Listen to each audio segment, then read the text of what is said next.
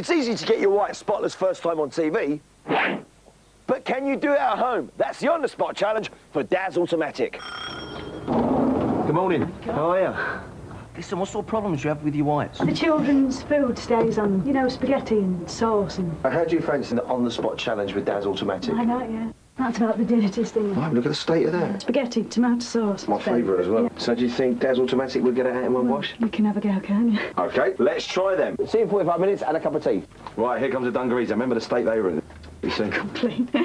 they have, yes, they've come very clean. You sound so surprised. Well, I am surprised, because I didn't think they'd come out total. I thought there'd still be little bits left in. But no, they're really nice. Dead chuffed with them, yeah. You're dead chuffed. Why don't you challenge Daz Automatic and see if you get more of your whites spotlessly white first time? And it's still at the right price.